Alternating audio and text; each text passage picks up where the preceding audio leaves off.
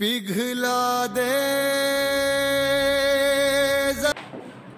Hello दोस्तों, आप सभी का स्वागत है। इस मीडियम क्लासेस में आप पढ़ रहे हैं मध्यकालीन इतिहास और मध्यकालीन इतिहास में तुगलक डायनेस्टी आज खत्म हो जाएगी, जिसमें आपने देखा कि तुगलक वंश यानी कि तुगलक वंश सबसे लंबे टाइम तक चलने वाला वंश था दिल्ली सल्तनत का। और सबसे ज़्यादा अगर राज्य विस्तार की बात करते हैं तो तुगलक डायनेस्टी में ही हुआ है, जो कि मोहम्मद बिन तुगलक के टाइम पर सबसे ज़्यादा राज्य विस्तार हुआ और सबसे ज़्यादा विद्रोह भी देखने को मिलते हैं मोहम्मद बिन तुगलक के टाइम पर। मोहम्मद बिन तुगलक की अगर बात करते हैं तो मोहम्मद बिन तुगलक दिल्ली सल्तनत का एकमात्र ऐसा शासक था जो सबसे ज़्यादा पढ़ा लिखा था और इसे विद्वानों के द्वारा पढ़ा लिखा पागल मूर्ख की संज्ञा दी गई है। जब इसकी मृत्यु होती है तेरह में तो इसमें क्या होता है? बदायूं जो इतिहासकार हुए हैं, उनके द्वारा बताया गया है कि जो मोहम्मद बिन तुगलक है, प्रजा को, यानी कि राजा को, प्रजा से और प्रजा को राजा से मुक्ति मिली। ये स्टेटमेंट आपसे पेपर में पूछा जाता है। कई बार पूछा गया है। आगामी एग्ज़ाम में भी इसको पूछा जा सकता है। ये सारी चीज़ें आपको याद रखना है। मोहम्मद बिन तुगलक के टाइम पर जो पाँच योजनाएँ उसने, उसके द्वारा चलाई गई और पाँचों योजनाएँ फेल होती हैं ये आपको याद रखना है। चाहे वो राजधानी परिवर्तन हो दूसरा अगर बात करते दो आप क्षेत्र पर टैक्स की बात करें तीसरा अगर बात करते हैं तो खुरास खुराचान और हाँ, खुरासान और कार्य अभियान ये और मुद्रा जो उसके द्वारा मुद्रा यानी कि नए सिक्के चलवाए गए थे ताबे के तो उस टाइम पर क्या था उसने एक पर्टिकुलर सिक्के तो चलाकर मतलब योजना तो बनाई सिक्के मतलब अच्छा सोचा उसने किस तरीके से कि चांदी और सोने का खजाना मतलब खाली ना हो मतलब इसकी वैल्यू लोगों को समझ में आए या समझ, समझाना चाह रहा था। लेकिन उस टाइम पर क्या हुआ, इसने किताबें और काशी के जो सिक्के चलाए, उसने एक पर्टिकुलर जो बात करें जो साइन होता है, वो नहीं दिया था। तो लोगों ने अपने घर पर टकसाल खोल अपने घर पर सिक्के बनाना शुरू किए। इस कारण से इसकी ये वाली योजना भी फेल हो जाती। तो इस तरीके से उसने जो योजना चलाई, वो फेल हुई।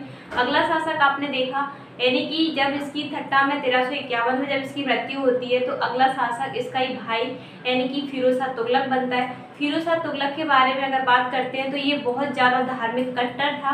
धार्मिक कट्टर किस तरीके से आप समझ सकते हो कि इसने किस तरीके से अपने हिसाब से कि किस तरीके से ज़्यादा से ज़्यादा राज्य कोष को भरा जाए, यानी किस तरीके से ज़्यादा से ज़्यादा इसको मुनाफा हो तो इसने ज़्यादा से ज़्यादा हमने देखा कि सबसे ज़्यादा इसको प्रेम था दासों से। तो क्वेश्चन पूछा जाता है कि दिल्ली सल्तनत का एकमात्र शासक जिसे सबसे ज़्यादा दास प्रेम था, ये आपने देखा, और धार्मिक कट्टरता की अगर बात करते हैं देखो उस टाइम पर जजिया और जकात टाइप के जो कर चल रहे थे, लेकिन वो पर्टिकुलर किन से नहीं लिए जाते थे। जजिया की अगर बात करते हैं तो जजिया जो है, मोहम्मद बिन कासम जब अरब आक्रमण होता है, उस टाइम से ही अपने इंडिया में आ गया था। लेकिन आपको याद रखना है कि पर्टिकुलर रूप से ये टैक्स जो था, धार्मिक यात्राओं पर लगता था। ब्राह्मणों, बच्चों और बूढ़े अगर यात्रा पर जा रहे हैं तो इनसे नहीं लिया जाता था। लेकिन ये इस तरीके से इसने धार्मिक कट्टरता दिखाई कि इसने बताया कि जो ब्राह्मण है, धार्मिक यात्रा करने जा रहे हैं, धार्मिक यात्रा बोलो तो चारों धाम की यात्रा पर जा रहे हैं। तो इनसे क्या किया जाएगा? टैक्स वसूला जाएगा। तो ये पहला शासक हुआ है फिरोज तुगलक। आपको याद रखना है पेपर में पूछा जाता है। पहला शासक जिसके द्वारा ब्राह्मणों पर जजिया लगाया गया तो आपको याद रखना है, फिरोज तुगलक, ठीक है? और इस, इसी प्रकार से उसने जजिया लगाया, जो धनी मुसलमान थे मतलब धनी वर्ग के जो मुसलमान थे, उन पर भी उसने जजिया के बाद जक़ात लगाया। और इसके बाद आपने देखा खिराज खिराज मतलब जो हिंदू हिंदू जो जागीरदार थे या हिंदू भू राजस्व कर लगाया। इसके बाद उस्त्र लगाया, इस तरीके से आपको देखना है तो खिराज लगाया, हिंदू हिंदुओं के ऊपर भू राजस्व टैक्स था और उस्त्र लगाया मुस्लिमों के ऊपर। ये एक प्रकार का बुरा कर था, ठीक है? तो इस तरीके के क्वेश्चन पूछे जाएँगे आपसे। और इसमें इसमें अगर बात करें तो इसके द्वारा सबसे ज़्यादा दासों को रखा गया। दासों के लिए दीवाने बंदगान खोला गया, यानी कि फिरोज तुगलक के द्वारा। इसके टाइम पर काफ़ी कुछ काम किए गए। इसके द्वारा 800 लगभग 300 नगर याद रखना। तीस, तीन से ज़्यादा नगर बसाए, है ना? जिसमें से आपको याद रखना है जौनपुर, हिसार, फतेहाबाद, फतेहपुर, ये आपको याद रखने हैं, ठीक है? ये मुख्य थे इसके। इसके बाद अगर बात करते हैं तो किस तरीके से कृषि क्षेत्र में 24 प्रकार के जो टैक्स थे, उनमें से उसने किस तरीके से चार प्रकार के टैक्स ही लगाए, जिसमें आप समझ सकते हो जज्जी जक़ात। जज्जी जक़ात उसके बाद खिराज और उस, और आपने देखा, कृषि क्षेत्र पर भी कर लिया जाता था। पाँच प्रकार की नहरों का निर्माण करवाया, ठीक है? तो सबसे बड़ी नहर भी आपको याद रखनी है। इसके बाद और चीज़ें हैं जो रह गई हैं, वो आगे देखते हैं। बाकी जो हाँ और रिवीजन करना है तो आपको वीडियो देखना है इससे पहले वाला। सारी चीज़ें मिल जाएँगी। बस इसको रिवीजन करवाने का तरीका मतलब आपको वीडियो को लिंक करवाना होता है कि आगे क्या चलने वाला है, ठीक है? तो आइए देखते हैं। फिरोज तुगलक के द्वारा ये 300 नगर 300 300 नगरों को बसाया, ना कि 800 300 नगरों को बसाया। ठीक है, जैसे इनमें से अगर बात करते हैं, पाँच जो बड़े नगर थे, इनमें से आपको याद रखना है। जौनपुर, हिसार, फतेहाबाद, फिरोजाबाद। फिरोजाबाद दिल्ली में एक बार पूछा गया कि फिरोजाबाद कहाँ पर है? तो दिल्ली याद रखना है, फिरोजपुर। ठीक है, फिरोजपुर, फतेहाबाद ये कहाँ पर है? हिसार पता है, हरियाणा में पड़ता है। ठीक है, इस तरीके से। फिरोजपुर आपका यूपी में पड़ेगा। और जौनपुर ठीक है, इस तरीके से याद रखना है। गुलामों की संख्या में इसने वृद्धि की, इसके टाइम पर सबसे ज़्यादा गुलामों की संख्या थी। बात करते हैं कितनी थी? एक लाख अस्सी हज़ार। एक क्वेश्चन आपसे नहीं पूछा जाएगा क्वेश्चन पूछा जाएगा। दिल्ली सल्तनत का एकमात्र शासक, जिसे तरह की दासों से प्रेम था, दासों के व्यापार पर प्रतिबंध लगाया तो ये ही था। कौन था? यानी कि आप बात करें एफटी या फिर फिरोज शाह तुगलक, ठीक है? इसके बाद इसके द्वारा दीवाने, बंदगान, यानी कि दासों की देखरेख के लिए क्या बनाया? एक अलग से डिपार्टमेंट बनाया, दीवाने, बंदगन। आपसे क्वेश्चन पूछा जाएगा, दीवाने, बंदगन किससे संबंधित है? तो दासों की देखरेख से संबंधित है। पूछा जाएगा, किसने बनवाया था? तो ऑप्शन रहेंगे अलग अलग जैसे चाहे बलबन दिया हो मोहम्मद बिन तुगलक दिया हो फिरोज तुगलक दिया हो। तो आपने तो पढ़ा है, समझा है तो आपको याद रखना है फिरोज तुगलक, ठीक है? इसके बाद अगर बात करते हैं, दिल्ली सल्तनत का पहला सुल्तान, बता दिए दासों के व्यापार पर प्रतिबंध लगाया ये मोस्ट इंपोर्टेंट पॉइंट है। पूछा भी गया है, पूछा जा सकता है पेपर में। दीवाने खैरात दीवाने खैरात याद रखना, दीवाने खैरात मतलब जो मुसलमान मुसलमान जो अनाथ, मुसलमानी जो अनाथ स्त्रियाँ विधवा लड़कियाँ, उनकी देख रेख के लिए इसलिए दीवाने खैरात, ठीक है? तो दीवाने बंदगान, बंदी बनाना मतलब दास, दीवाने बंदगान से याद रख सकते हो दासों के लिए। और खैरात मतलब जो सताई गई स्त्रियाँ होती थी, विधवा मुसलमानी औरतें, इनके संरक्षण के लिए इसने उनको आश्रय दिए, उनको सहायता दी। तो ये याद रखना दीवाने खैरात, ठीक है? ये उसके डिपार्टमेंट थे। दारुल सफ़ा अब इतने सारे गुलामों को रखे हैं, इतनी सारी बेसहारा औरतों की सहायता कर रहा है तो बीमार भी पड़ेंगी तो उनकी सहायता के लिए उसके द्वारा क्या बनवाया गया?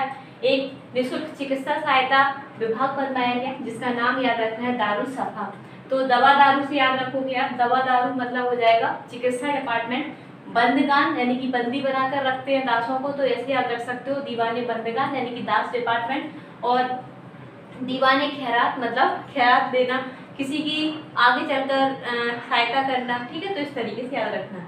वही इसके द्वारा सिक्के चलाए गए, सिक्के कौन कौन से थे? आधा और बिक ये याद रखना है, आधा और बिक किसके द्वारा चलाए गए?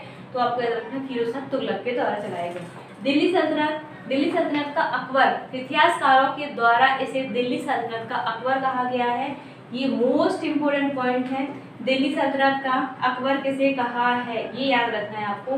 दिल्ली सल्तनत का अकबर किसे कहा गया है? फिरोज तुगलक को किसके द्वारा कहा गया है? तो अलग अलग इतिहासकारों के द्वारा अलग अलग मत दिए गए। हालाँकि पर्टिकुलर किसी एक इतिहासकार का नाम नहीं है तो आपको याद रखना है, दिल्ली सल्तनत का मतलब अकबर यानी कि फिरोज तुगलक को दिल्ली सल्तनत का सिक्कों का सुकुमार, यानी कि एफ़ यानी कि मोहम्मद बिन तुगलक को ठीक है? एम बी टी यानी मोहम्मद बिन तुगलक, ठीक है? एफ़ टी यानी कि एफ़ टी का फुल फॉर्म है आपको पता है, यानी कि बार बार शब्द रिपीट बड़ा नाम है तो लिखने में प्रॉब्लम तो इसे आपने याद रखना short form F B T यानी कि फिरोज तुगलक के निर्माण का जैसे उसके द्वारा बनवाया गया खिड़की मस्जिद दिल्ली में वही कुतुब मीनार की पांचवी मंजिल, आपको बताया कुतुब मीनार की नींव किस द्वारा रखी गई थी तो आपको याद रखना है कुतुबुद्दीन एवं बख्तियार काकी जो हुए हैं मतलब जो संत थे, उसके नाम पर कुतुबुद्दीन एवक के द्वारा, लेकिन उसकी दूसरी, तीसरी, चौथी मंजिल तक का निर्माण किसके द्वारा करवाया गया था तो इल्तुतमिश के द्वारा। लेकिन पांचवी मंजिल, पर्टिकुलर पांचवी जो मंजिल है इसके द्वारा बनवाया गया। वही चौथी नंबर की मंजिल जो है, उसका मतलब कहती है बिजली चमकने से उसकी ऊपरी वाली जो पाँच चौथी नंबर की मंजिल थी, वो खराब हो गई थी। तो उसका इसने फिर से रिफॉर्म करवाया, ठीक है? पुनः निर्माण करवाया। तो ये याद रखना है, दिल्ली मस्जिद, यानी खिड़की मस्जिद दिल्ली में है, किसके द्वारा? फिरोज तुगलक के द्वारा बनवाई गई। कुतुब मीनार की पांचवी मंजिल का निर्माण फिरोज तुगलक के द्वारा। खाने जहाँ तिलगानी का मकबरा, ये याद रखना है, खाने जहाँ तिलगानी का मकबरा, ये जेरूसलम में स्थित एक चर्च बात कर सकते हैं, या फिर एक मस्जिद की बात कर सकते हैं, उससे की जाती है इसकी तुलना। ये मुख्य है, यानी कि इंडिया में बनाया गया है पहला ऐसा मकबरा था, जिसको अष्टकोणीय मतलब जो हेक्टेगोनल बोलते हैं, अष्टकोणीय पद्धति में निर्मित किया गया। अष्टकोणीय मतलब इस तरीके से आप समझ सकते हो, आठ कोने इस तरीके से। इस तरीके से आठ कोने जो बनते हैं, उस तरीके से। ठीक है तो समझ जाना कि अष्टकोणीय है। आठ कोने बनाए गए इसमें। तो याद रखना खिड़की मस्जिद फिरोजा तुगलक के द्वारा और कुतुब मीनार की पांचवी मंजिल फिरोजा तुगलक के द्वारा बनवाई गई। खाने जहाँ तिलगानी का मकबरा इसकी एक स्पेशल यानी कि इसकी विशेषता क्या है?